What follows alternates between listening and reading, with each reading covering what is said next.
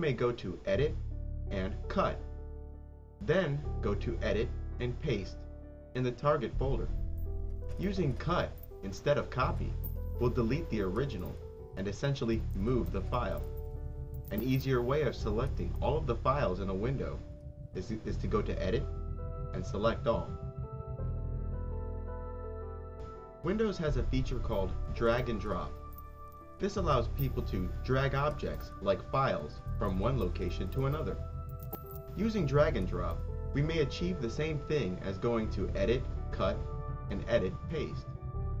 Let's try copying the files on my camera to the summer 2010 folder on my computer using the drag and drop method.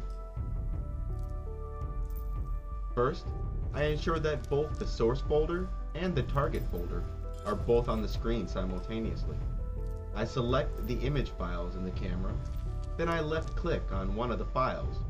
While holding down the left mouse button, bring the mouse cursor over the target window, the summer 2010 folder. The files now begin copying to your hard drive.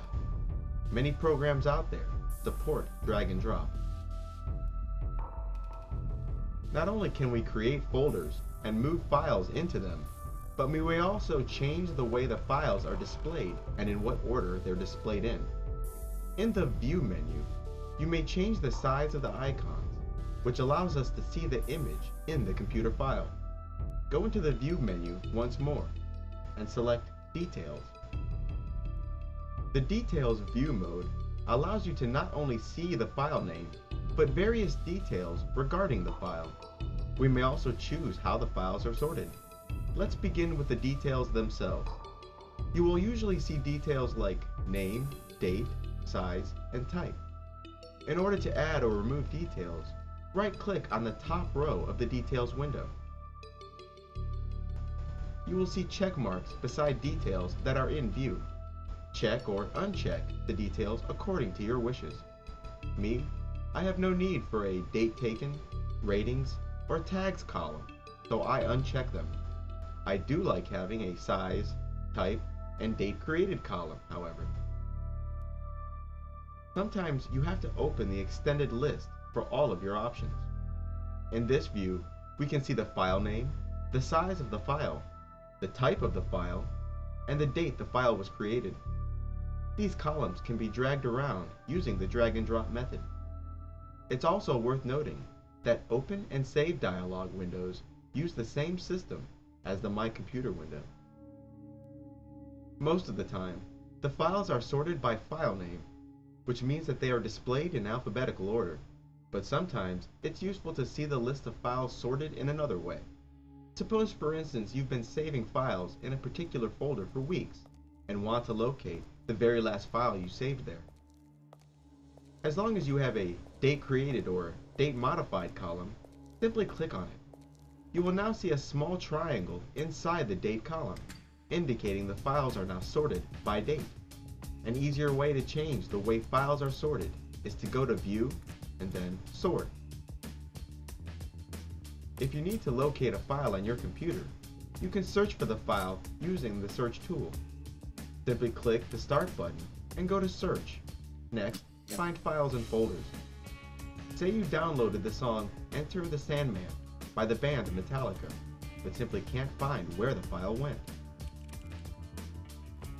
Type in Metallica or Sandman into the search text box and hit enter. The search tool now begins searching the computer for all the files whose names have Metallica or Sandman in it.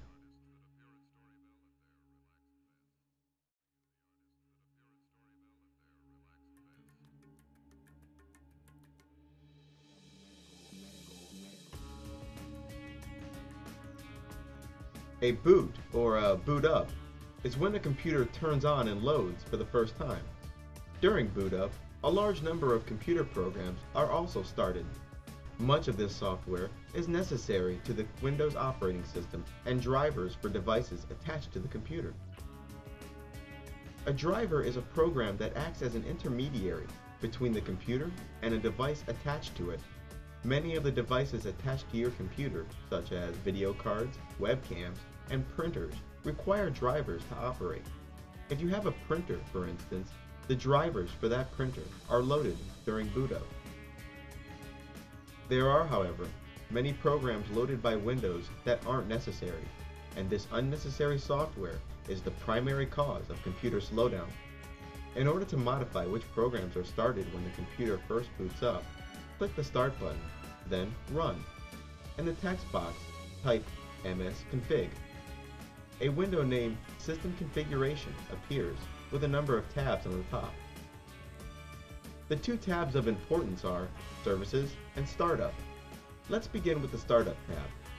Take a look at the items that are checked. Each of these checked items is a program that is executed the moment Windows is loaded. The programs usually continue running throughout the duration of your computing experience. Many of these programs are unnecessary and therefore only cause the computer to slow down. A checked program that is not associated with a device on your computer, such as a printer, video card, or webcam, is the first sign of an unnecessary startup program. Look at the column that says Manufacturer and see whether that program says Lexmark or Logitech, because if you so happen to own a Lexmark printer or a Logitech webcam, you may want to keep it checked. If you expand the command column, you'll see the full path and actual file name of the startup program. If you wanted to know what jusched.exe is and whether or not you need it to execute during computer startup, simply go to Google and type it in. Type jusched.exe. Often you will find a host of people who are asking about the same file, and often their questions have been answered. In this case, it turns out that jusched.exe is an unnecessary Java updating program. Many programs, especially those involving media like photos, movies, and music, tend to set themselves as one of the startup programs, even though you may use that software often. There's no need for these kinds of programs to be in the startup list. And now, onto the Services tab. The items in the Services tab is another list of programs that get executed when the computer first starts up, and they too can slow down your computer. On the screen is a list of common Windows services, together with their priority rating and brief function description. Services with 3 stars are recommended and are usually quite vital. Services with 2 stars may be required by particular users who own certain devices or frequently use certain software but for most users, a 2-star service is also optional. Services with 1 star are very optional and are only required in the rarest cases. These 1-star services can be disabled without much concern. If you discover you've disabled a service that is vital to you, simply re-enable a few services that might be associated with the problem. If you're without that kind of patience, simply click Enable All. If there's a service on your list that isn't on mine, type in the service's name into Google and find out what its function is and whether it is necessary. The changes you make using msconfig will not go into effect until the computer is restarted. The majority of settings that the common Windows user needs can be found in the Control Panel. To open the Control Panel, click the Start button, then Settings, then Control Panel. My control panel is in the classic view. The first item of interest is Programs and Features, sometimes called Add Remove Programs. Even though many software packages include a dedicated uninstall feature, the control panel is another convenient way of uninstalling software. This is a good place to start in regards to cleaning up your computer. Remove programs you don't use or don't use anymore. And lastly, we return to the control panel so that we may change the setting of our Windows user account. In an application named User Accounts, one may add, modify, or remove a password for the account. You may also change your account permission. For instance, if you want to change the password to your Windows account, click Change Password. Here, you will be asked to enter the account's current password, then type and retype the new password. If you wish to remove your